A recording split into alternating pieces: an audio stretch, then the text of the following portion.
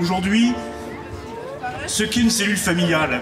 la famille c'est important, c'est des transmissions vraiment très très importantes.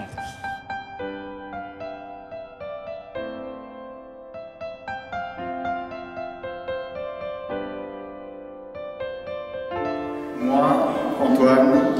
je te reçois, Amélie, comme épouse, et je promets de te rester fidèle dans le bonheur et dans les épreuves, dans la santé et dans la maladie, pour t'aimer